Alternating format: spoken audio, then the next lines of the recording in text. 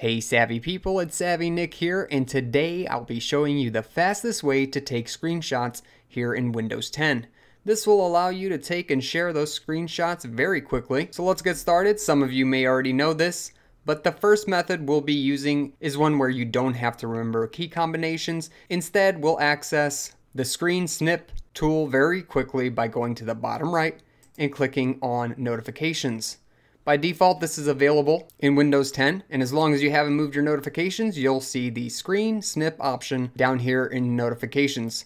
You can of course add this in if you want by right clicking and hitting edit in case you don't have it, but if you do, just click the screen snip button. By default here, we get to see that now we can select any portion of the screen that we want, and that's the rectangular snip tool.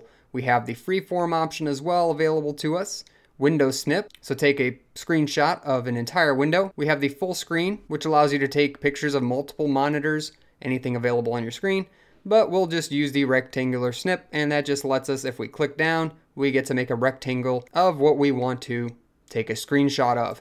So I went ahead and took that screenshot by just letting go of the mouse, and now we can see in the bottom right, it says snip save to clipboard. We can either click on this or just hit the hide button but if we click on this, this allows us to go ahead and make edits to our screenshot.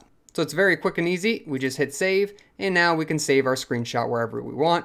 I'm to save it here on the desktop and that's it. I have a screenshot now available on my desktop. Make sure to subscribe below and hit the notification bell for more Windows and Linux tips as well as programming videos. The main reason I'm showing this today is I think that some people don't realize how easy it can be to take and share screenshots and probably haven't been using these two methods. Instead, they've probably been searching for the snip tool through the search bar. So let's do this again real quick. We go down here hit screen snip, select the portion of the screen that we want to go ahead and snip. And now to make things even quicker, if I just wanted to go ahead and share this without actually making any modifications, I don't need to open it up because it is saved to my clipboard. What I can do is launch an application where I want to share my screenshot in and just paste. After I paste or hit Control V, we'll see that the screenshot that I created can be shared now, and now it has been quickly uploaded without making any types of edits to it. This is an extremely fast way of sharing your screenshots. So now let's look at a second method that's even quicker. And if you went ahead and made it this far, please hit the like button. It really does help me out. So the main reason we checked out the notification section first before we got to this method is so we can reference it when we're making screenshots with the shortcut keys. All right, so method two, let's use the shortcut keys. If you press mod, Shift S.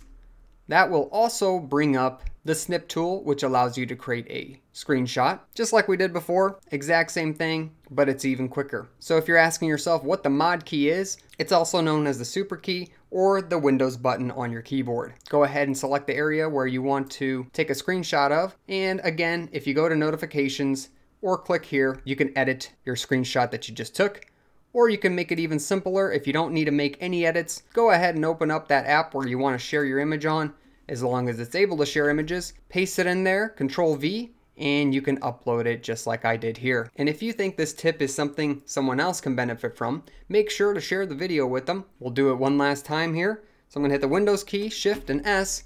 I'm going to take another screenshot of the Windows logo, click on it here, make a quick edit. Let me just highlight some of this, save it, and create a name, screenshot, and I'm done. I have another screenshot here on the background, and I even made a quick edit to it. Well, that's about it. If you have any questions, comments, or suggestions, please make sure to post them in the comment section below. Also, make sure to subscribe for future videos, and make sure to like the video. Catch me in a great community on Discord, and I'll catch you on another video. Thanks for watching.